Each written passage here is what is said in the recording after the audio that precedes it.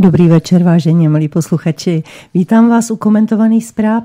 Dnes máme 8.12.2019, druhou adventní neděli a mě těší, že tu mohu být s vámi a samozřejmě, že to těší i Vladimíra Kapala. Že, Vladimíre? Jistě. Dobrý večer. Já tě Ještě tady jednou. vítám. Ještě jednou a půjdeme na věc, protože čas letí. Podívejte se, za chviličku máme Vánoce, tak abychom to stihli, i když upřímně řečeno mi to moc předvánoční čas nepřipomíná eh, teda to, co se děje eh, v naší zemi a vůbec v globální politice. A tak jsem ráda, že se mohu věnovat pečení rohlíčku. Asi člověk aspoň zaspomíná na klidné časy ale teď už dost. Jdeme na věc. A já to okomentuju. Také. Příjemné je, že to potom bytě voní. Je to krásná vůně. Eh, příjemné je, když to člověk okoštuje, jestli se ti to povedlo. Nepříjemné na tom je, že ty ženy mají tím tou přípravou šíleně moc práce. Aha, já myslela, že, že to dají do krabice, zavřou a dají mimo dosah. dosah ano. Tak, tak to, to je taky, nutné. To je nutné. Většinou se dělá ještě nášup, aby na štědrý den něco bylo, ale na druhou stranu je pravda, že to cukroví před Vánoci chutná mnohem víc, než potom o svátcích. Tak a jdeme už. A víš proč? jdeme už. Protože se krade. jo, no tak už vím, na koho mám ukázat prstem. Takže teďka jdeme skutečně na první zprávu. Minulý týden to s námi všemi zalomcovalo. Jedná se o rozhodnutí nejvyššího soudu, soudu ohledně hijabu. A máme tady článek z parlamentních listů, kde se nám vyjadří členka trikolory. Věřím, že není dobojováno. Majerová Zahradníková odsoudila rozhodnutí nejvyššího soudu ohledně hijabu. Kouza somalské dívky, která nemohla na Pražské střední zdravotnické škole nosit hijab, nadále zůstává diskutabilním tématem, a to i kvůli tomu, jak rozhodl o celé situaci nejvyšší soud, který se postavil na stranu migrantky. Svou nespokojenost se soudním rozhodnutím vyjádřila jedna ze zakladatelek hnutí Trikolora Zuzana Majerová Zahradníková, která se postavila na stranu ředitelky školy Ivany Kohoutové a zmíněný krok označila za ideologický. Upřímně jsem znechucena rozhodnutím nejvyššího soudu ve věci hijabu. Soudy naprosto zjevně přejali pohled úřadu ombudsmanky a aktivistů a absolutně je nezajímají další okolnosti případu, vedla politička. Zdůraznila, že na poput ombudsmanky a spol soudy obtěžovali po celých šest let paní ředitelku Kohoutovou a teď tomu nasadil korunu nejvyšší soud, když se postavil na stranu aktivisty a úřadem ombudsmana zneužité muslimské dívky. Dodala, že dotyčná migrantka se dostala do České republiky za velmi podezřelých okolností bez dokladu a ani nebyla schopna předložit potřebné dokumenty ke studiu. Budeme pokračovat. Po zveřejnění jejího stanoviska na Facebooku se začaly objevovat pozoruhodné komentáře. Rozhodnutí je zcela milné. Hijab nemá žádnou spojitost s náboženstvím. Je to symbol útlaku žen. V Iránu protestují ženy proti hijabu a jsou za to odsuzovány na dlouhé roky vězení. Posvítil se na téma Václav Pavlovec. Další uživatelé sociálních sítí přišli s profesionální poznámkou. Zákaz hijabu je legitimní na celém území ČR, protože islám je v přímém rozporu téměř s každým článkem naší ústavy, tedy listiny práv a svobod, a hijab je projevem sympatii k islámu, tedy naplněním skutkové podstaty paragrafu 404 zákona číslo 40 lomeno 2009 sbírky. Doufám, že Trikolora navrhne doplnění paragrafu 403 téhož zákona o přímé pojmenování islámu. Aby zabránila různým výkladům tohoto zákona, napsala Ivana Jerhotová. Musí Česko akceptovat a tolerovat náboženský pluralismus? Včera jsme psali o tom, že hradní mluvčí Jiří Ovčáček celou věc srovnal s urážkami křesťanství a zneuctění Ježíše Krista. Mluvčí českého prezidenta dal na svém účtu na Facebooku najevo, že se mu moc nelíbí, jak se k věci v pátek postavil soud. Civilizace, která utne vlastní kořeny, je odsouzena k postupnému a potupnému úpadku. Urážky křesťanství z neuctění Ježíše Krista, to je podle českých soudů v pořádku. Zákaz nošení hijábu ve škole je podle českých soudů netolerantní, stálo v jeho příspěvku. Narážel tím na skutečnost, že Česko podle daného soudu musí akceptovat a tolerovat náboženský pluralismus, nesmí diskriminovat či naopak bezdůvodně zvýhodňovat některý z náboženských směrů. Rovněž se v jeho statusu objevila narážka na to, že v listopadu krajský soud v Brně rozhodl, že ve dvě, že dvě brně, brněnská divadla se nemusí omlouvat za uvedení kontroverzních her. Žalobu na divadla podal kardinál Dominik Duka spolu se svým právníkem Ronaldem Němcem. Byl tak potvrzen zamítavý rozsudek městského soudu. Celá věc začala tím, že ředitelka jedné školy v roce 2013 vyzvala, vyzvala svou žačku Ayan Jamal Ahmedu Núrovou, aby si sundala hijab i na teoretickou výuku. Původně ale spolu byly domluvené, že šátek bude odkládat Eh, jen při ošetřovatelské praxi. Dívka nakonec ze školy odešla. Dotyčná se rozhodla, že podá žalobu a kromě omluvy se domáhala i částky 60 tisíc korun. Když ale u obvodního soudu pro Prahu 10 a městského soudu v Praze neuspěla, obrátila se právě na nejvyšší soud a ten se postavil na její stranu. Skutečnost, že způsob vázání hijábu je v naší společnosti cizorodým prvkem, neznamená porušení norem společenského chování, mravnosti, respektive morálky. V případě zahalení hijábem jako projevu víry tedy není zákaz pokrývek hlavy odůvodněn legitimním cílem zachovávat pravidla společenského chování a morálky, tedy cílem, jež toto ustavení školního řádu sledovalo, rozhodl nejvyšší soud. Tak já si myslím, že se dívka neodvolala, že se odvolala paní ombudsmanka, protože potřebovala prolomení hrází.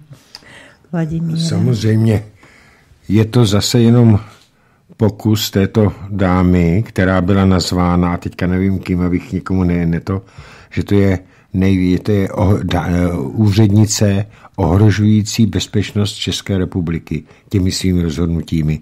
Ona nadržuje vždycky těm, těm menšinám, které se snaží vládnout té většiny, tedy naší majoritní společnosti.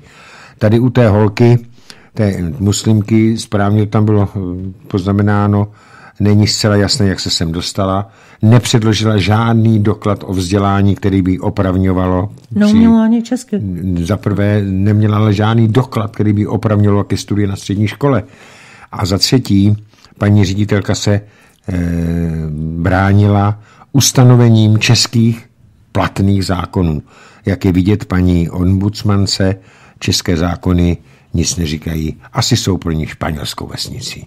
A já jenom říkám, že každý den, který je tato žena ve funkci, tak tímto každým dnem jen a jen škodí České republice. No ano, tak já si myslím, že eh, o tom eh, svědčí i to, jak se vyjadřoval pan Stanislav Křeček, kterého neustále umravňovala. On totiž jako eh, normální, normálně myslící bílý muž, inteligentní člověk, byl opravdu trnem v patě, takže se snažila vždycky potrhávat tam. Je veliká smůla pro problémy. nás. Je veliká smůla pro nás, že ombudsmankou byla jmenována právě, právě tato osoba a nikoli pan doktor Ježek. Přitom tato Křeček, osoba, pardon, Ježek, Křeček. Křeček. Já už jsem zase někde myšlenka tě neopravuju, ale eh, si vzpomeň, jak měla vlastně, ona se podílela na, na tom, že spolupracovala s rodinou eh, právě toho týraného Ondry. Jo, myslíš Kouřimskou? Kouřimská kauza. Kauza, ano, tam je to úplně do nebe volající, protože A ten člověk... původce, ten je otec těch, ty holky, co ji potom nakonec zavřeli. Ty, ty Aničky. Ty nešťastní nemocný holce, protože to je stejná, eh, stejná, řekl bych, duševní kategorie jako Greta Thunbergová tak Máš pravdu. to je naprosto stejný. Tak ten původce toho, ten otec, který tohle to všechno dělal, ten, ten satanismus, který tady provozoval, týrání dětí, no tak ten ani nebyl souzen. ten v klidu odejel do zahraničí, nic se mu nedělo, nebyl stíhán, nebyl na něj vydán zatykač. Zkrátka, bylo to člověk z kruhů, které jsou zřejmě pro naši justici nedotknutelné. Přesně tak. A paní Žabatová by měla být obviněna z napomáhání právě, aby se tady rozmáhaly takovéhle sekty. Hmm, za prvé, tyhle, ty, tyhle ty muslimské sekty, které tady dostávají zelenou, ale na druhou stranu uvědomme si velice závažný jev, který prosazuje paní Šabatová. Ona prosazuje nedotknutelnost menšiny cikánských spoluobčanů. Protože tam, když se dostane nějaký konflikt, tak jak ombudsmanka, tak naše soudy, tak policisté konec konců se dívají různými úhly pohledu. Pokud to je útok na cikánskou komunitu, tak je to s rasovým podtextem. Pokud je to opačně, nikdy tam není zvýšená trestní sazba Eh, odůvodněná rasovým podtextem. Ano, a všichni diskriminace. Máme, všichni máme osobní zkušenosti s tím, jak se k nám ta no. cikánská komunita chová a jak na nás pokřikuje. Ale paní Šabatová ne, víš? Paní Šabatová to asi neříkají. No. Paní Šabatová je zkrátka žába na pramení a bylo ohromnou chybou, že tam byla do tohoto úřadu Já doufám, že jenom do příštího roku, kdyby uh, měla odstoupit. No, aby měla už být, končí eh, funkční končí... období. Jenomže pan doktor eh, Křeček oznámil, že nehodlá eh, kandidovat na předsedu nebo na ombudsmana. Já vím, no. že na, na zástupce nechtěl už znovu kandidovat.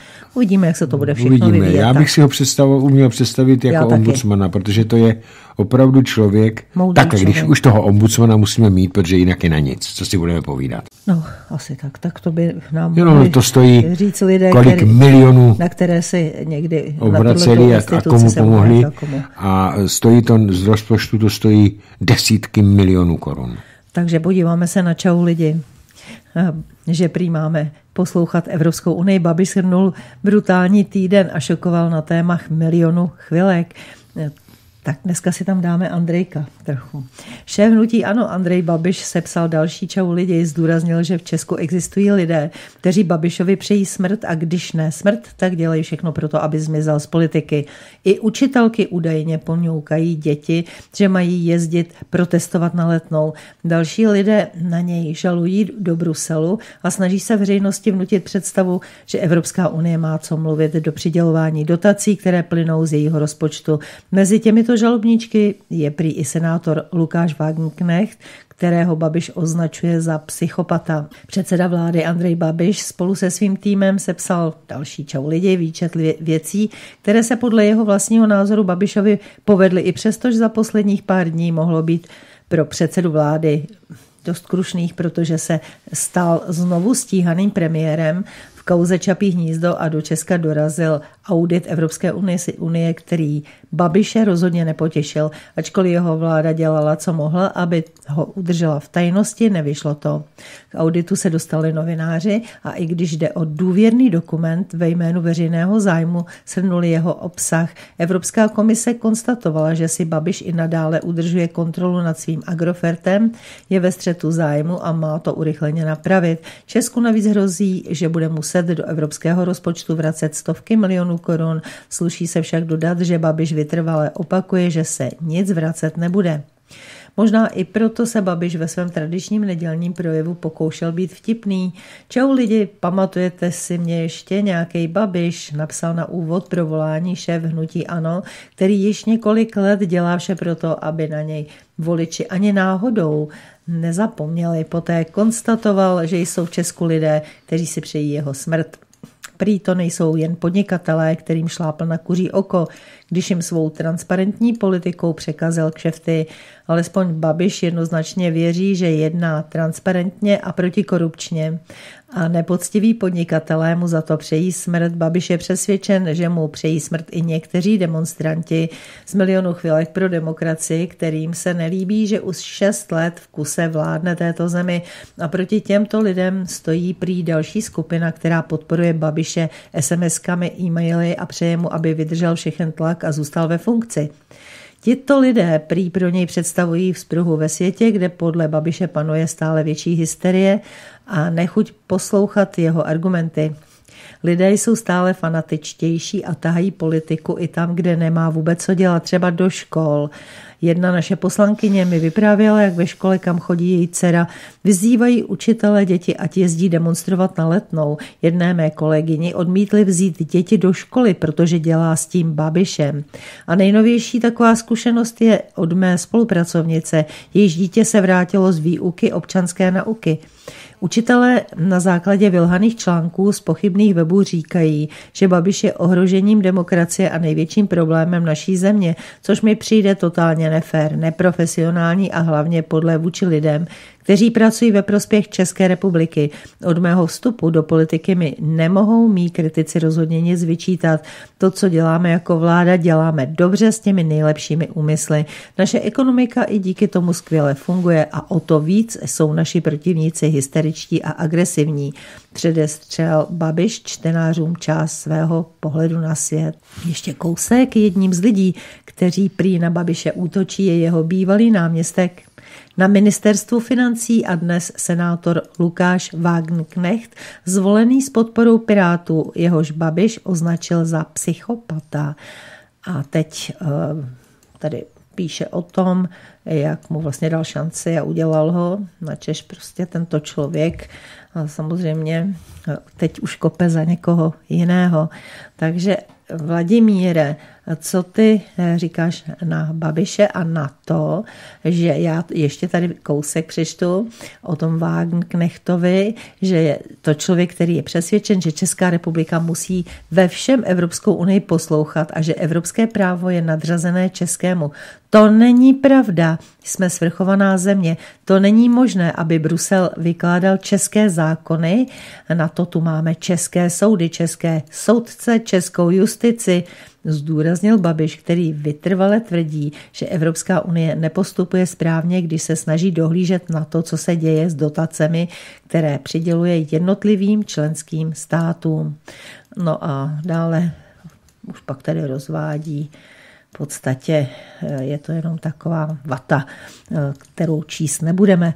Takže Vladimíre, co, co říkáš eh, na, na Babiše a Já na jsem to, jak někde četl vyjádření nějakého vysokého činovníka Evropské unie eh, ohledně té zprávy auditorské, která, já si to jméno nepamatuju, četl jsem to jenom někde na, někde, někde na nějakým, myslím, že mainstreamovém webu, to jméno si nepamatuju, těch úředníků je tam tolik, že si to člověk nepamatuje všechno, ale pamatuju si jednu věc a tu dost podstatnou, že oficiální zpráva po vyjádření české strany o střetu zájmů Andreje Babiše bude mít oficiálně Česká republika nejdříve na podzim příštího roku. Takže tato zpráva zase není konečnou oficiální zprávou. Babiš má zřejmě pravdu a paní ministrině Dostálová, když to tvrdí, protože toto, toto bylo vyjádření jednoho z nejvyšších nějakých úředníků Evropské unie, který na to má právě eh, který to má v gesci tohleto. Uh-huh. To je jedna věc. A druhá věc, co se týče školství.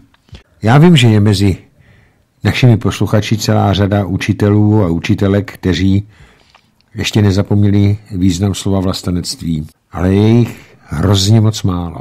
Většina těch učitelů jsou ti, kteří, kteří eh, jsou poplatní současnému režimu. Vůbec se nesnaží děti naučit, vůbec se nesnaží jim říkat pravdu. Vůbec a většinou ředitelé škol se nesnaží zabránit do škol pronikání politiky, pronikání islámu, pronikání neziskovek jako nepřístojnému. V naším zákonech je, že školství má být apolitické. Jakékoliv působení politicky orientovaných neziskovek, náboženských politicky orientovaných skupin, mám na mysli muslimské skupiny, je nepřípustné. Toto většina ředitelů nerespektuje, toto většina učitelů nerespektuje. Oni nes, neslyšel jsem jediný protest, jediný vyjádření toho jejich uh, odborové organizace, že se chystají uh, stávkovat, když uh, ministrině Valachová jim tam nařídila inkluzi. Žádná stávka se nekonala, neřvali ti učitele no, to jejich nezvedlo, odborové. Nezvedlo je to ze židlí. To. Nikde jsem neslyšel slovo, že to půjde úroveň školství dolů ale řvou jenom o penězích. A už mi to začíná vadit. O tom mluvil akorát pan prezident, no tak no prezident. Já vím, ale ten to ze strany učitelů ale jsem pro neslyšel. učitele to nebyl takový důvod, aby se zvedli ze židlí. tak. A ale oni hlavně... si totiž měli uvědomit, že to bude pro ně daleko víc práce. Teďka si stěžují, že mají 30 žáků ve třídě. U nás to a že to ne... Ano, my jsme měli dokonce přes 30 no, jistě. dětí. No, takže ve třídě. Na 32 jako... dětí nebo studentů bylo v třídě na gymnáziu, kam jsem chodil. 32. 31 dětí bylo na základní škole, kam jsem chodil, si to dneska pamatuju. Žádný učitel se tehdy nehroutil psychicky. Žádný učitel si nestěžoval, že by měl málo peněz.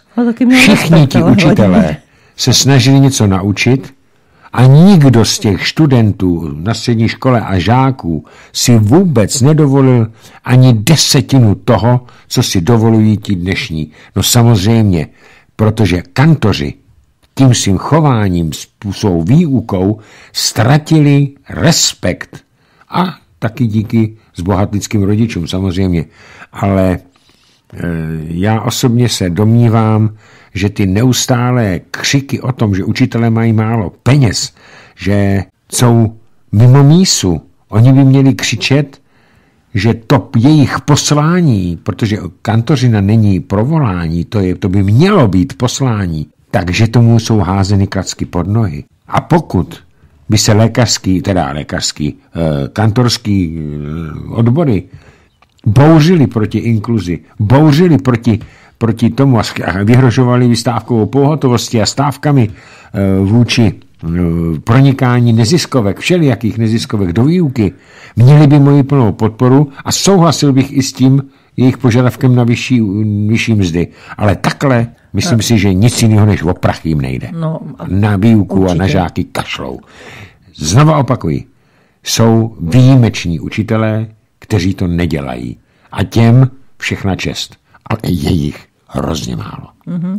Tak je pravda, že i já, když se podívám zpětně, tak těch učitelů, kteří mě skutečně velmi ovlivnili, nezapomenutelně pozitivně, eh, byla jenom malá část.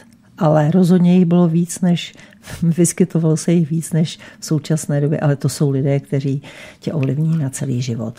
A to, co teď, eh, jak to vypadá, tak skutečně je to degradace školství. Dobře. Takže máme tady další zprávu. Evropa má zaděláno na hodně velký, ale skutečně velký průšvih. Musíme okamžitě obnovit kontroly na hranicích. Toto nám řekl poslanec výboru pro obranu, také náš host v rádiu ve Svobodném.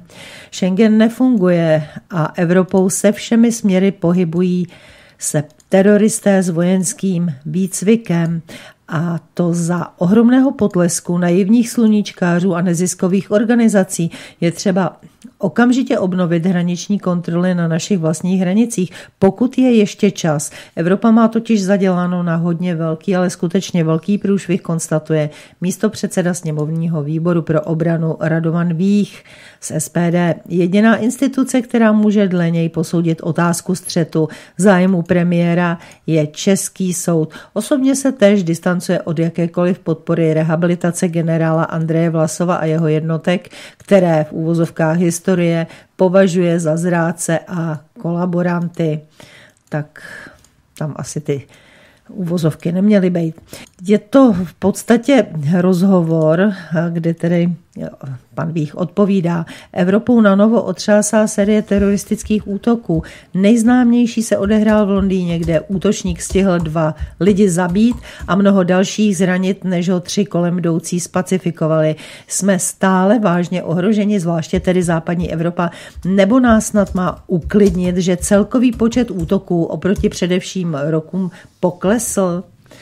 Tak jak sebe destruktivně degeneruje západní Evropa, je fakt, na kterým zůstává rozum stát. Útočník a džihadista z Londýna je bývalý vězeň, odsouzený za terorismus, který byl v loni podmínečně propuštěn na svobodu a měl elektronický náramek. K teroristickému útoku se později přihlásil islámský stát. Navíc byl v roce 2012 odsouzen spolu s dalšími extremisty za plánování bombových útoků. Podle dostupných zdrojů ho soudce tehdy označil za velmi nebezpečného džihadistu.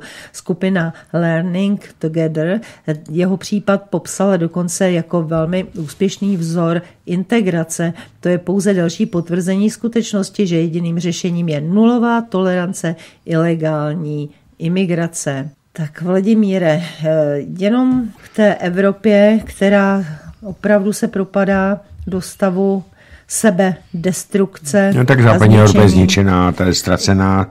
Západní Evropa se nedá zachránit do západní Evropa počítám do, do několika let bude čistě islámská.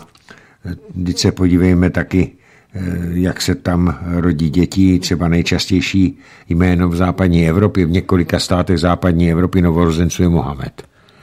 Jo, takže například ve Francii v roce 2018 byla porodnost francouzských žen 13 dítěte na ženu, kdežto muslimských žen 8,1 dítěte na ženu.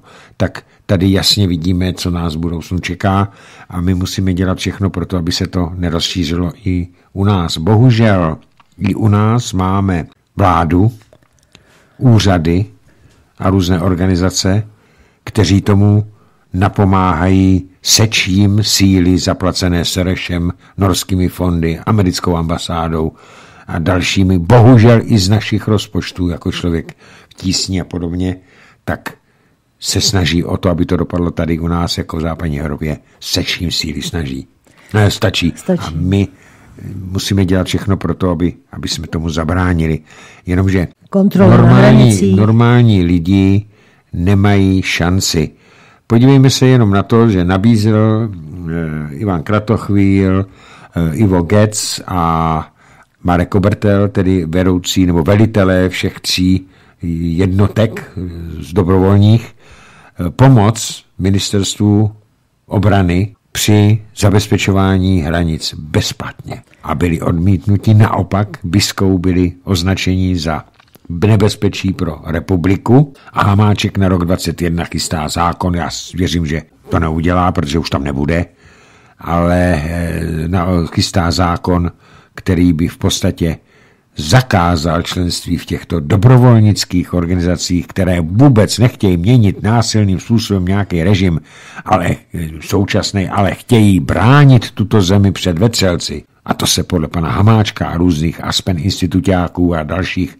kolaborantů a zrádců národa, v čele s Obrajtovou samozřejmě, a Bakalou, to jsou v čele Aspen institutu. Ale oni jsou i další ty organizace, Schwarzenberg tam je, PH je zase jinde, takže hm, oni se snaží dostat nás přesně do té role Evropské unie západ od, na, na západ od nás, kdy to je už ztracené a a čo, co může dělat člověk? Nic. V současné době nic.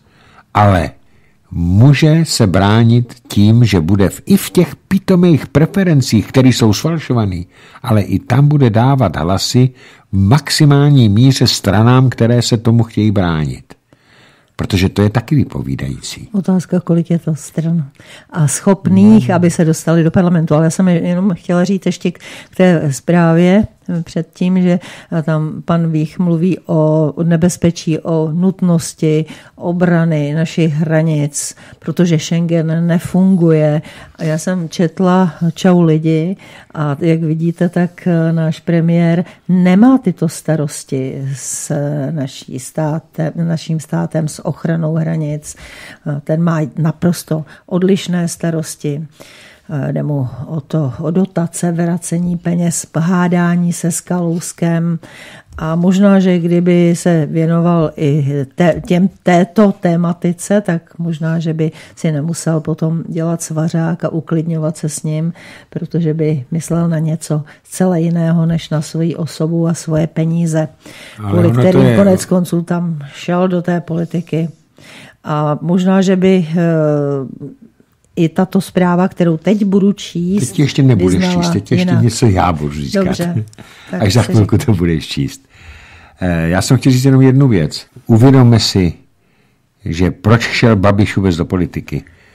Vůbec ne pro zájem o český lid, o český národ, o českou vlast. Vždyť on není Čech.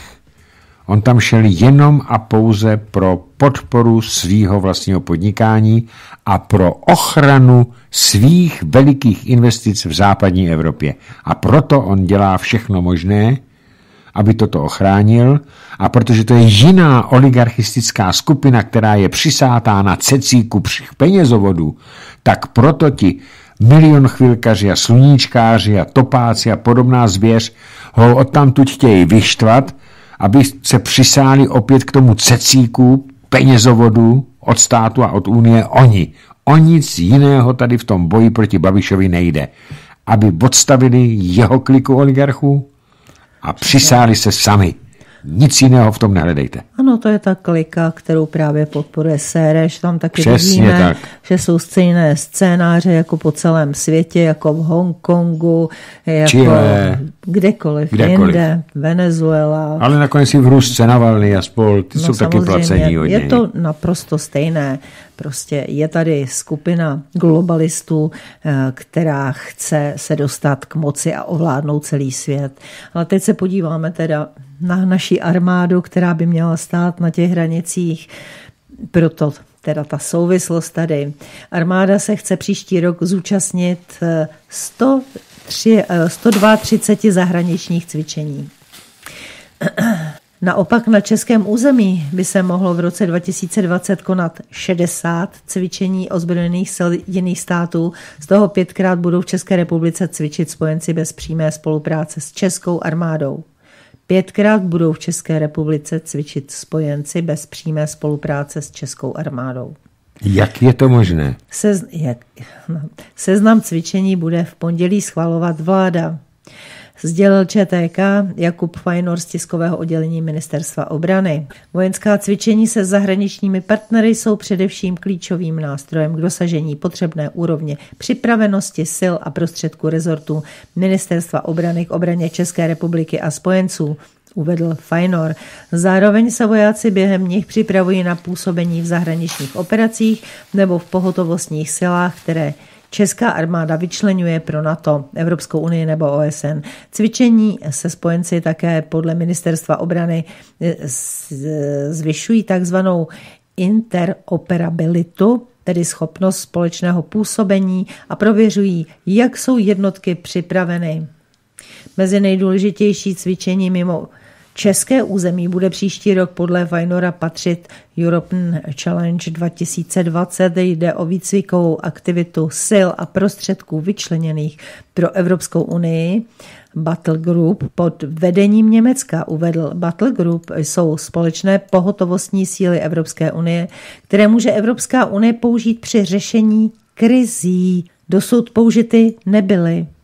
Na cvičení Česká armáda vyšle do Německa 300 svých vojáků z 85 kusy techniky. Na mise v Afganistánu a v Mali se budou vojáci chystat na dvojici cvičení Lešť Exercis 1 a 2. Trénovat během nich budou boj v zastavěném prostoru a uvnitř budov. Zúčastní se jich 90. Mezi hlavní cvičení na území České republiky bude tradičně patřit Joint Fires a Ample Strike. V prvně jmenovaném cvičení jde o prohloubení spolupráce v oblasti palebné podpory, uvedl Fajnor. Ve vojenském újezdu Hradiště se jej zúčastní 250 vojáků dělostřelectva ozbrojených sil Slovenska, Polska a Německa z 69 kusy techniky. Tak cvičení Ample Strike. Jeho cílem je výcvik předsunutých leteckých návodčí s letovými osádkami a veliteli pozemních jednotek při přímé letecké podpoře. Cvičení se zúčastní 400 vojáků z 18 zemí z téměř 50 kusy letecké techniky. Tak ty nebudou potřebovat k eh, přesouvání naše silnice a dálnice. Takže Vladimíre, to je jenom moje poznámka. Jak se jmenoval ten mluvčí? ten... Fore... Vydrž chviličku, já ti to řeknu hmm. hned, ono to totiž je Fajnor. Fajnor lže. Jakub Fajnor. Jakub Fajnor lže v každém slově. Koncem roku 2018 prohlásil náčelník generálního štábu Aleš Opata tato slova. Je nám známo, že současná česká armáda by byla schopna ubránit v případě napadení České republiky cizím útočníkem pouze dva menší okresy. Ani ne jeden kraj. Pouze dva menší okresy. Celá naše armáda je koncipovaná jako expediční sbor působící v cizině na obraně zájmů cizích mocností. A je další lež pana Fajnora, že se tady bude u nás konat cvičení na obrané fázi, protože první článek, myslím si, té smlouvy na to, smlouvy to je uvedeno v tom, že veškeré napadení se nejprve bude projednávat a řešit diplomaticky. O tom, že by nás šli pomoci bezpodmínečně, tam není ani slovo. Až potom, jak se rozhodnou, a oni by se nerozhodli. Takže všechny peníze vydané na naši armádu jsou vyhozené peníze a podle Trumpa, který samozřejmě America First, takže chce pomoct americkému zbrojnímu průmyslu, proto taky řve o jakýchsi dvou procentech rozpočtu, přitom to nikde v žádných, v žádných zákonech, v žádných smlouvách, ani OSN, ani EU, nikde to tam není. Pouze si to vymyslel Trump, aby pomohl, eh, pomohl se zaprvé znova zvolit a za druhý by pomohl situaci americkému, americkému zbrojnímu průmyslu. A všichni okolo toho idiotsky Tady se omlouvají, že oni na tu obranu nemůžou dát tolik peněz, jinak Česká republika dává asi 1,3 HDP. Slovensko víc, 1,4, asi 1,42. Takže, prosím vás, všechny keci ministerstva obrany jsou pouze keci. Každá koruna vy, vy, vybraná z českých daňových poplatníků na armádu je vyhozená, protože naše armáda není schopna bránit Českou republiku ty jenom bojují za zájmy cizích v zahraničí. A teď jsem četl, že v Mali se začíná to tam pěkně, pěkně mydlit. Mm-hmm. Jo, a my tam máme všech 400 vojáků. No, no, a takže, jak slyšel, opět eh, by tam měly být příští rok. Takže jim půjde pěkně okejhák. No, a ty, ty malíci, ty, ty černoši se tam s tím nepárají. Ty se s nima nebudou mazat. Jo? Takže tady vidíme, a čí tam chrání? Francouzské zájmy. Francouzské zájmy, protože tam jsou francouzské ko- kooperace, které tam těží nerostné bohatství. To je naše armáda. A jede přes ně bankovní systém. A jede přes, no, 14 přes afrických zemí, států. Přes 14 afrických zemí jsou napojeni, zkrátka vydírání. To je ten imperialismus, neokolonialismus. Tak se nediv potom, že, jsou, eh, že si tam pouštějí eh, ty migranty. Teď v podstatě oni jim dlužejí francouzi. To, co tam dělají francouzi v současné době, je neokolonialismus. Je to neokolonialismus, ale tady na druhou stranu zase, podívej se, co sem chodí. Ano, my to jako idioti podporujeme. Takže znova, co se týče to, to, to, této zprávy. Jakákoliv koruna, včetně nepotřebných vrtulníků, který jsme předražených koupili, představte si, ty vrtulníky jsou určený pro námořnictvo a nemají kolečka. Oni mají ty lyžiny, takže oni je budou muset nějakým způsobem, když je budou chtít strčit do hangáru, no tak je budou muset naložit na nějaký vozejky a odstrčit tam, když to ty vrtulníky, ty migy, ty byly na kolečkách, takže je tam odtáhli normálně tak těmi víš, ty vozejky, vozejky, ty se budou hodit. Ty se budou hodit. Takže já jsem už opravdu alergický na jakékoliv tyto zprávy a navíc, no, jak může tady u nás být vojenské cvičení bez přítomnosti naší armády, když tady máme v ústavě zakotvenou celistvost a nezadatelnost e, suverénní České republiky. Jakým právem sem ty vojáci přijdou? Kdo je bude rozhodovat Víš potom? To, to Vláda? Je, parlament? To je příprava už na evropskou armádu. To samozřejmě. Protože naši samozřejmě papaláši a všichni si uvědomují, že celá ta šaškárna kolem na to je jenom o penězích pro někoho, ale v případě potřeby, to je otázka, že v případě potřeby oni nezasáhnou a já vidím ten případ potřeby právě vnitroevropský, to znamená zásah cizích armád v rámci Evropské unie proti státu, který se chová jako rebel. Ano, evropská armáda, kterou prosazuje Merklová a Macron, není vůbec nic jiného než četnický odděle, oddíly evropských armád, jako to bylo za žaláře národu za Rakouska a Uherska. Vzpomeňme vy, kdo se trošičku zabýváte historií na Rumburskou spouru. Tam se spouřili čeští a slovenští vojáci. A kdo ji potlačil? Kdo tam střílel do těch vojáků?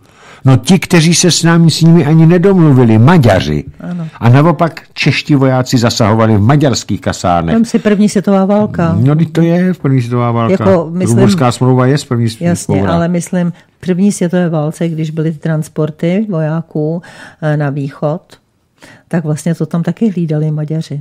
Ale tam se, tam se, tam se jednalo o další věc, že kromě prvních transportů těch našich vojáků na východní frontu za první války, no. Zjistili, že jim ti naši vojáci utíkají, houfně utíkají, přebíhají, takže Čechy přestali vozit na východní frontu a dávali, začali je vozit ve velké množství do Itálie. Právě kvůli tomu, že tam by nikdo neutíkal. Ale to je všechno kolem a kolem jenom. Zásadní věc je, každá koruna vroze, vložená z našich daních do armády a ať se na mě vojáci zlobí jak chtějí, tak je zbytečná, protože ta současná armáda pro nás není. Ta je tady jenom proto, aby za naše peníze bránila zájmy někoho jiného desetitisíce kilometrů daleko od nás. Tak, tak. A protože tady máme takový slouhy, tak si tomu ještě tleskají. Podíváme se na NATO polskýma očima eh, časopisu Observator političny. Na to je fraška slouží pouze Spojeným státům. Je to pravda. Naprostá na to bylo pravda. vytvořeno, aby vyvíjelo tlak na sovětský svaz, který již neexistuje, takže neexistuje důvod podporovat tuto frašku a budovat jednotu na údajné ruské hrozbě, píše observator političny. Publikace nemilosrdně vysvětluje, že NATO ve skutečnosti slouží k udržení podřízenosti USA a uskutečňování nákladného zadávání zakázek v obraném průmyslu. Tak, na to je fraška, takže nastal čas s tím skončit, ptá se polské vydání eh, výše, již zmiňovaného časopisu. Tato organizace byla vytvořena, aby vyvinula tlak na sovětský svak a dnes již neexistuje. Není důvod podporovat frašku a budovat jednotu na předpokládané ruské hrozbě. to je čistá fraška. Není v zájmu evropských zemí, aby jednali v rozporu s rétorikou pokryteckých sankcí a pod neustálým tlakem na Rusko. Zdravý rozum vítězí kdekoliv, kde jsou peníze a potřebuje stabilitu. Rusko je největším a nejspolehlivějším dodavatelem tohoto produktu na světě, vysvětluje publikace. Takže myslí tím ten zdravý rozum. A každý ví, že francouzi nechtějí umírat za Gdaňsk a po slovech Macrona můžeme přidat, že i za Vilnius, Rigu nebo Tallinn. Rusko je zase zemí, která vyžaduje solidaritu s ohledem na konflikt s národnostními menšinami v sousední zemi, kterou bombarduje. Kromě toho je nepřátelská vůči jinému členovi aliance a otevřeně ohrožuje evropské spojence použitím humanitárních zbraní, nárůstem přílivu uprchlíků. Kromě toho Turci stále kupují plyn, jaderné elektrárny a zbraně z Ruska, vyčísluje observator političný. Publikace upozorňuje také na Německo, které je ve v strategickém partnerství s Ruskem a od nějž nakupuje nekonečné množství plynu a nejen to. Navíc nemá nic proti čínské technologii 5G, jejíž implementace ji vylučuje ze skupiny amerických spojenců. Zahraniční politika Německa za posledních 30 let významně přispěla k válkám na Balkáně a k tragédii na Ukrajině.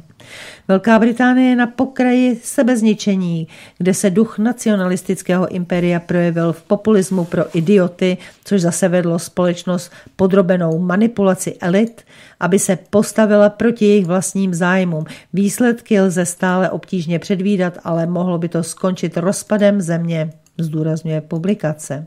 Mnoho zemí západní Evropy má navíc problémy s identitou, výskyt nepůvodní populace a její rychlý demografický vývoj vede k neustálým změnám ve vzhledu populace. Navíc západ, vychovávaný a kastrovaný genderovou a sexuální ideologií, již není na individuální úrovni vnitřně sjednocen. Není tam prostě nikdo, kdo by tam bojoval, varuje observator političný.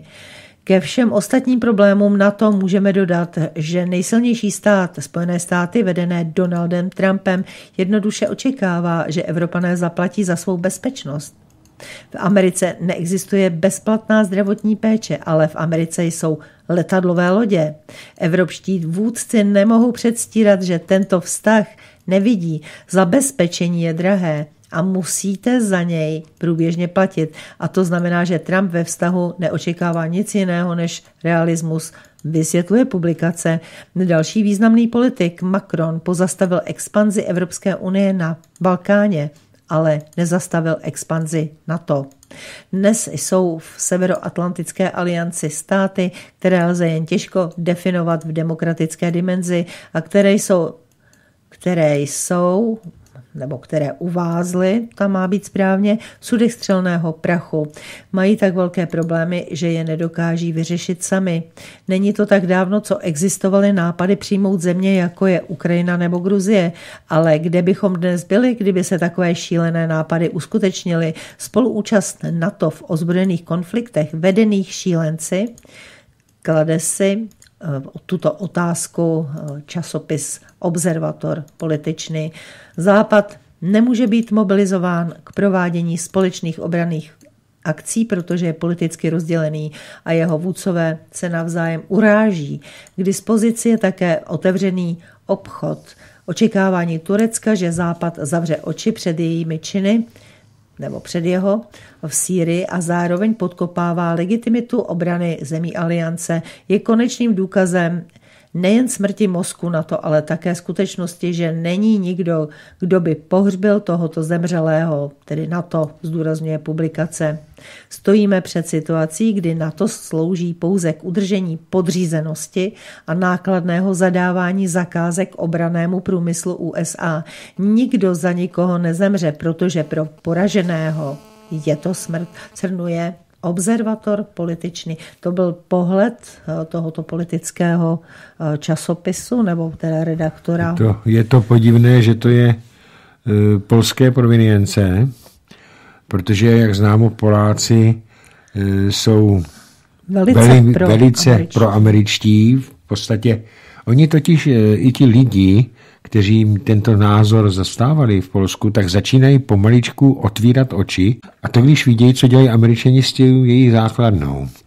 Oni tam dostali povolení na určitý pozemky, že si tam můžou vybudovat samozřejmě za polský peníze, ale ty američani tam sami o sobě začali kácet ohromný eh, les, prostory v lese, v chráněné krajinné oblasti, kam si Poláci nedovolili postavit ani chatu, ani balagan.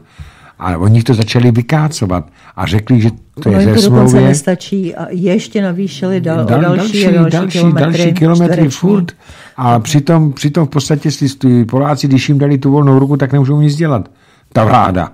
Jo? A tady vidíme, jak se ti Poláci, ti lidi začínají obracet. Ze začátku z toho byli nadšený, dneska už tak nadšený tak nejsou. Tak ta politická garnitura bude říkat něco jiného. Samozřejmě, já mluvím o lidech, nemluvím o politické garnituře.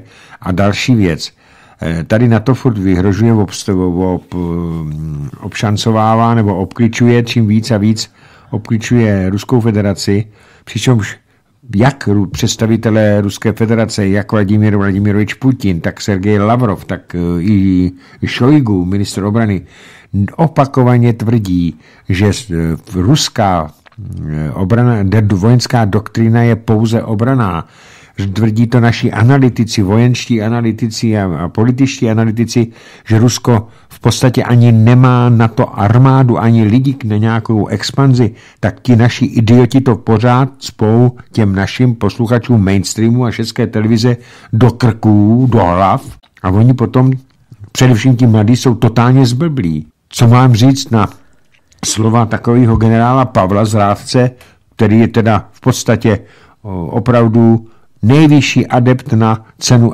Emanuela Moravce. Já bych tady znova, já bych tady uh, vypsal novou cenu, cenu. Emanuela Moravce na pro největšího zrádce, kam bych teda samozřejmě zařadil, zařadil Halíka, uh, mináře. Takový politický ropák, jo. Takový politický ropák, ano. Pavel, který říká, že pro nás není nebezpečí muslimský džihad, ale Ruská federace. Tak mi řekněte, prosím vás, kolik Rusů z Ruské federace v posledních pěti letech spáchalo v Evropě hromadný atentát. To by to udělal jeden Rus. No tak se o tom bude psát. Já vím o tom, že tady byl jeden terorista Čečenec. Ale to nebyl Rus, to byl Čečenec muslim. Takže tady vidíme, jak jsou manipulovaní. A co se týče těch Poláků, oni to poznají sami. Oni to poznají sami. Na to, podle mýho názoru, je přežitá organizace a neměla už tady vůbec působit, protože to není obraná aliance, ale to je čistě útočný, agresivní a agresorský pakt, kterým si Spojené státy vydobývají, vydobývají své drancování cizích území. A dělají to od svého Nehledě na to, že už Donald Trump prohlásil, že Spojené státy sníží svůj příspěvek, byť jak jsem se mohla dočíst, tak snad o 120 miliard bude navýšen, ale eh, Spojené státy se budou účastnit eh, necelými 17% na celkovém eh, počtu teda financí, které, který stát vloží teda do NATO. Němci by měli být hned za nimi s 16%. A to, že skřípnul peníze pro NATO se projeví také na tom, že eh, si státy, které se rozhodly, že budou na svých územích mít eh, vojenské základny Spojených států, teda NATO, tak, eh, že si ty základny budou také muset sami zaplatit. A to se týká jak Polska, tak i Slovenska. Bude to pro Slováky zajímavé, pro Poláky Ale už. ono i pro nás, a vážení přátelé, vy, kdo nás posloucháte zítra od 17 hodin, to je, proč já se omlouvám, že to tak říkám dopředu, ale je změna, protože eh, předseda eh, bezpečnostního výboru sněmovny, pan Radek Koten, má čas jenom v pondělí od 19 hodin, tak abych vás o něj nepřipravil. Mám na něj připravené několik zásadních otázek, tak na dopisy posluchačů budeš už od 17 hodin. A tam mm, budu jasně dokazovat, že není pravda, že tady u nás americké základny nejsou. Jsou. Dobře. Počkejte si na, na pondělí. Takže zítra od 17, 17 hodin uslyšíte pořád nad dopisy posluchačů. A já tady mám další zprávu. Je to o překrucování dějin. Ministři zahraničních věcí z 11 zemí vystoupili proti pokusům falzifikace výsledků druhé světové války. V Bratislavě se 5. a 6. prosince konalo setkání ministrů zahraničních věcí OBSE. V tomto roce Slovensko zastupované ministrem zahraničních věcí Miroslavem Lajčákem předsedá této organizaci. Ministři zahraničí Azerbajdžánu, Arménie, Běloruska, Kazachstánu, Kyrgyzstánu, Kyrgyzstánu, Moldavska, Ruska, Srbska, Tadžikistánu, Turkmenistánu a Uzbekistánu v rámci Rady ministrů zahraničních věcí OBSE v Bratislavě přijali společné prohlášení u příležitosti 75. výročí vítězství ve druhé světové válce. V dokumentu jehož text byl uveřejněn v sobotu na webu Ruského ministerstva zahraničí jsou odsuzovány pokusy o falzifikaci výsledků války. Jak je uvedeno v prohlášení, druhá světová válka byla jedním z nejkrutějších a nejkrvavějších konfliktů v dějinách, který přinesl lidstvu strašlivé utrpení. Pamatujeme si všechny ty, kteří projevili neuvěřitelnou odvahu na frontě i v týlu a zachránili naši civilizaci před záhubou, uvedli ministři. Naší posvátnou povinností je chránit historickou pravdu. Rozhodně odsuzujeme pokusy falšovat výsledky druhé světové války. Ministři zahraničí nazvali rouháním všechny projevy neúcty k památkám vojáků a velitelů rudé armády z neúctění hrobů těch, kteří položili svůj život za osvobození Evropy od nacistů. Vandalismus vůči takovým pamětním místům nelze nějak omluvit, zdůraznili v prohlášení. Vyzýváme všechny země, aby ctili památku hrdinů osvoboditelů a udržovali vojenské hroby v náležitém stavu. Prohlášení je také uveden, a vyjádřeno rozhořčení nad snahou některých zemí rehabilitovat a dělat hrdiny z nacistických zločinců a jejich spolupachatelů. Zamlčování zločinů motivovaných etnickou a náboženskou nenávistí nevyhnutelně přivede svět k nové katastrofě, vysvětlili ministři. Historie ukázala nebezpečí schovývavosti k nacionalismu, netoleranci, diskriminaci, extremismu a nenávisti na etnickém, rasovém a náboženském základě. Řík, eh, cituji, potvrzujeme odanost myšlence svobodného demokratického společného a nedělitelného euroatlantického a euroazijského bezpečnostního společenství. Zdůrazňuje se v dokumentu hrdinství vítězných vojáků druhé světové války a jejich sebeobětování musí být věčným poselstvím pro budoucí generace.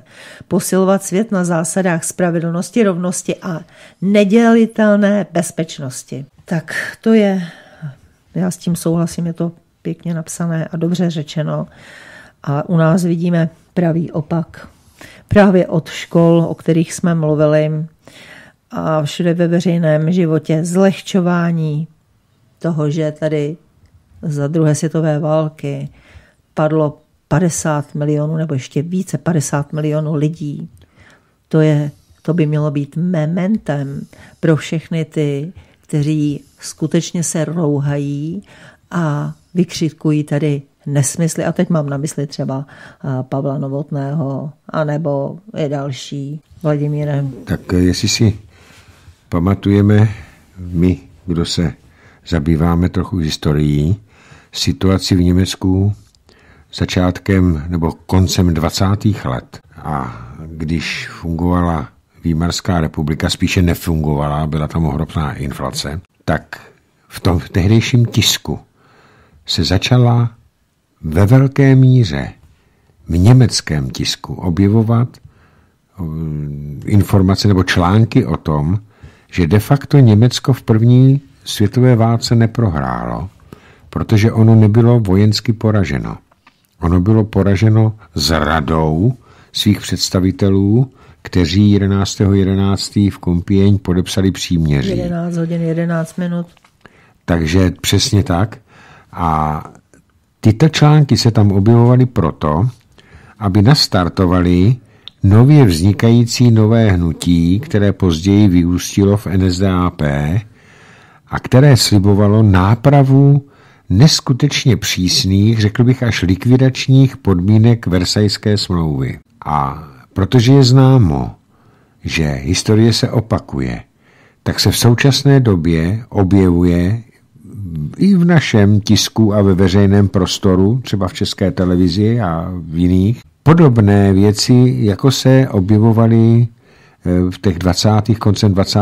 let v, těch, v tom německém tisku. Věci, které v podstatě ohýbají, otáčejí druhou světovou válku. Musíme si říct jeden zásadní fakt, který tady u nás v České republice už nezazní z veřejného prostoru, z veřejně právních médií, ani náhodou. Proč váhali angloameričané s otevřeným, teda spojenci, protože tam byli Kanaděni, Novozélanděni, Australani. Zkrátka, proč se váhalo s otevřením druhé fronty? Technicky to bylo možné otevřít už v roce 1942. Ty přístroje na to měli. Samozřejmě do toho 44. roku se to v podstatě zlepšilo. To, to byly ty přístavní loading boat a tady ty věci. Ale protože čekali co nejdéle, aby tehdejší sovětský svaz co nejvíce vykrvácel a váhali z počátku války, zdali vůbec se přikloní k té, k té spolupráci s sovětským svazem tehdy, protože mohlo by dojít k tomu, že bude poražen a oni by se strašně rychle přihlásili k spolupráci s nacistickým Německem, aby mohli participovat na neskutečném nerostném bohatství Ruska. Až teprve, když ruská mašina válečná se rozjela, přestěhovali fabriky za Ural a rozdělili neskutečné výrobu, tak zpočátku byli od závislí na dodávkách eh, známého paktu o půjčce a pronájmu. Ale ve 44. roce na jaře už bylo naprosto jasné, to probíhala operace další, Bagration a další, že sovětská rudá armáda si z Němci poradí i bez pomoci spojenců. A že by ty Němce zahnala až do kanálu La Manche na Pyreneje, zkrátka a dobře ovládla by celou Evropu. A teprve, když toto bylo jasné, tak teprve potom se rozhodli angličané Winstonem Churchillem, američané Theodorem Roosevelt, teda Franklin Delano Rooseveltem o otevření druhé fronty. Když už bylo jasné, že sovětská rudá armáda by ty Němce hnala až do Lamanče, tak proč teď lžou? Protože se musí znova rozpoutat nenávist českých obyvatel proti Rusku jako předzvěst jeho napadení. Čím více lidí bude nenávidět Ruskou federaci, ruské lidi, tím ospravedlnější, ospravedlňující bude potom oznámení, že se státy NATO v čele se spojenými státy a Evropskou unii rozhodlo o horkou válku se Sovětským svazem. Pokud by v Evropě byli proti té válce masově většinou lidi po celé Evropě, tak by se daleko hůře okecávala. Proto se to dělá tak, jak se to dělalo v německém tisku po první světové válce. Navíc se tady vyměnilo několik generací, které válku nezažily a mají to všechno zprostředkované. To znamená, že si na to nemohli šáhnout, nemají tu zkušenost. A mladí, kteří nejsou skutečně k ničemu vychovávání, právě i za nás, my jsme z války měli strach, my jsme věděli, o co jde, tak slyšeli jsme to. Ale my jsme viděli ještě v Praze důsledky té války, toho bombardování. Jistě, jistě. Ale, Na vlastní oči. A hlavně jsme se to učili ve škole. Ano. Tak víme, jak, jak vlastně ty lidé to prožívali, když to pro současné mladé lidi je to legrace. Oni vůbec ne, nemají, Netuší, oni se nad tím ne. ani nezamyslí, proč by. Teď oni vlastně tím svým konzumním způsobem života se vůbec nepřipouštějí, že by něco takové mohlo. Teď oni to eh, nezažili, nikdo jim to vlastně neříká. V rodině mají jiné starosti, tady prostě je jediný důvod, proč lidi teda žijící konzumním způsobem života eh, žijí, to je, jsou peníze. No, hlavně umíš si představit ty dnešní mileniály, že by si dostali do ruky flintu nebo samopal nebo já nevím, protitankovou zbraň nějakou, bazuku, a že by se postavili nepříteli a bojovali by za tuhle vlast. Ty, kdyby vy zaslechli střelbu a pochodovali by na tu frontovou linii, tak by tam ani nedošli. Strach a hrůza by tyhle ty zmetky zabil. A když vidím ty gender postavičky, no právě. tak eh, to jsou vlastně zbabělci. Ty by byli první, který by zalezli někde a, i tam pošli eh, protože nejsou ani schopní, prostě nejsou vůbec praktický, nej, nikdy k tomu nebyli vedení. K tomu, Ale hlavně ta prakticky. nenávist vůči tomu všemu ruskému, ta je v nich nejvíce zakořeněná. Ty jsou nejvíc vymitý mozky. A já vždycky říkám, zaplať pámbu za ty mladé lidi, kteří prozřeli, kteří poznali, jak s nimi je manipulováno, kteří si poslechnou alternativu, kteří poslouchají svobodné rádio a nejenom svobodné rádio, ale znova opakují, a zase o tom budu mluvit zítra, musí se velmi pečlivě zvažovat, aby se nenaletělo takzvanému pseudo alternativě já nebudu říkat Fiat, ale pseudo-alternativě, protože to je taky velmi nebezpečné a taky manipulativní. Takže to je no, já bych všechno. chtěla vidět všechny ty Ameriko Fily, Ameriko Fily, kdyby byly v 45. v Praze, někdy na Vinohradské a teď to tam bombardovali američani, jak lidé zalézali do sklepů. Chtěla bych vidět, jak by jim bylo.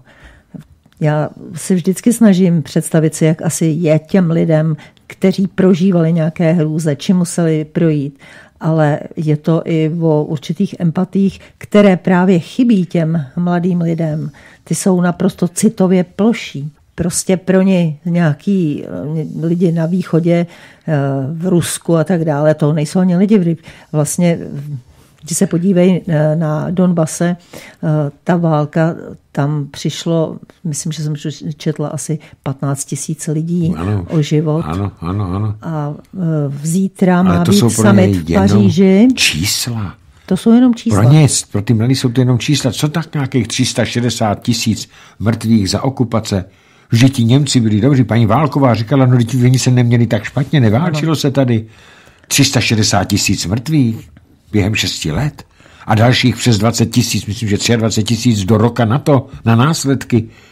To, to je pro ně jenom statistika, pro ně jenom číslo. Je to, je to špatné a právě proto se musí i v rámci toho samitu NATO a tadyhle těch dalších e, válečných nesmyslností a těch různých cvičených, tak se musí zaprvé demonstrovat síla západu tady u nás, ne kvůli tomu, Rusové si z toho nic nedělají. Nás mají zastrašit. Zkuste si něco dělat, že byste chtěli od nás vypadnout a přestali nám platit Otroci. penízky vaše. Tak bychom vás roznesli na kopitech, otroci. Tohle to je za význam všech těch spanilých jíst z amerického NATO, protože Amerika, NATO je americké, nikdo mi to nevymluví. Tak sice tam je generální tajemník Stoltenberg, ale jsou tam velitelé, rozhodující velitelé američani. Takže toto je všechno jenom proto, aby zastrašili evropské státy od toho, aby se osamostatnili, aby zase získali suverenitu, vybudovali si své rozkradené a zámyslně zničené infrastruktury a konečně začali chovat se a jednat a obchodovat se všemi státy světa, které o to budou mít zájem. Bez ohledu, jestli jsou na západě, na východě, na jihu nebo na severu. No jo, tak takhle přemýšlíš ty, ale na tom západě takhle přemýšlet neumějí. Tam prostě vždycky kořistněji, proto taky byly eh, státy v koloniální eh, područí a v současné době jsme i my. 200 a let amerických No a tady to bylo světa. 300 let poroby, tak ano. teď bude dalších. Ale eh, já právě říkám, máme před Vánocem a ještě jsem zmínila ten summit, který bude zítra v Paříži. A tam se jedná o eh, summit normandského formátu, kdy se bude jednat o Donbase. Nevidím to dobře, protože jak Západ, včetně Ukrajiny, tvrdí, že agresorem vůči Ukrajině je tam vlastně Rusko. Tak, ano, pro, ano, ano. Tak, takhle oni se na to dívají ano. a takhle uh, lidé kteří, z OBSE, kteří měli tu zkušenost a byli v Donbase, v Luganské a, a Doněcké republice, tak eh, viděli sami, jaká je tam skutečnost. Jo, a o tom se moc nemluví. Budu držet palce samozřejmě, aby eh, ta situace se tam ještě víc nevygradovala, protože eh, momentálně se tam začalo opět střílet. A zase je to normandská, normandská schůzka, ale zase je to o nich bez nich. Jestli pak tam budou pozvaní zvolení zástupci do čela těch republik, teda Doněcké i Luganské. Jestli pak tam budou? Ani náhodou. Víš co, je to otevřené eh, takové lož, ložisko nebo ohnisko, ohnisko zdroje další světového konfliktu. A oni si to snad schválně udržují. No udržují to, víš, jo, to ale právě proto, že to nemají, protože to nemají vůbec v úmyslu, aby se tam ta situace to. zlepšila a vyřešila. Proto tam nezvou ty zástupce těch dvou států, o kterých se vlastně jedná. Je to něco jako Mnichov. Proto taky nevadí ty náckové, kteří jsou tam prostě už Jistě, legálně. legálně jsou na Ukrajině náckové, ano. A nejenom na Ukrajině, na pobaltských republikách, tam už dostávají vyznamenání Ano. e, SSácké pluky, které z nich eh, byly přestaveny. Ne, ne, budou Vánoce, skončíme trošičku líp. Skončíme. A To ošklivé. to, to, to, to, Budeme pec rohlíčky. no tak já nevím, ještě budeš píst, co už máš. Budu ještě pec, abych se uklidnila. No ono totiž takhle to řeknu. Podle, eh, zatím předběžně mi to slíbil Tomáš Ortel, by tady měl být příští týden, Úterý. úterý. No a když tady byl naposledy, tak eh, nám mu tak chutnaly ty vanilkové rohlíčky, protože to byl taky před Vánoci. Takže doufáme, že ho na ty, vajta, na ty eh, vanilkové rohlíčky nalákáme, aby nás nenechal zase na holičkách. No, ale Co on to už je- znamenalo? On už je ženatý, takže určitě doma bude mít od novomanželky, tak oni už jsou spolu rok vlastně, tak bude mít určitě eh, Zeptáme taky se. napečeno, Zeptáme napečeno. se. Já jenom říkám, že mu ty, ty tvoje rohlíčky strašně chutnaly. A to no, je fakt. Tak já doufám, že nezapomene a že tady v úterý uslyšíte Tomáše Ortela. Ještě no, si to zítra ověříme. Jinak od nás je to už všechno a myslím, že před Vánocemi bychom už měli zkusit. Já bych si to tak moc přála, aby ta situace se sklidnila, protože my to všichni potřebujeme. Potřebujeme sklidnit a- a prožít si tady ty krásné křesťanské svátky a nehonit se jenom za dárkami, ale uvědomovat si, že ten čas tak strašně rychle ubíhá a že musíme být rádi, že jsme ve společnosti lidí, které máme rádi. Je to všechno jenom do času a tak se to musíme užít. Takže zase jsem trošku nostalgická, ale, ale, ale přece jenom je to pozitivnější. Já se s vámi, vážení milí posluchači, loučím. Zvu vás na zítřejší pořad s Vladimírem a, a přeji vám, aby se vám dařilo a zítra, až stanete, tak si stoupněte tou správnou nohou, abyste vykročili do týdne bezproblémově. Mějte se fajn a brzy naslyšenou. Dobrou noc.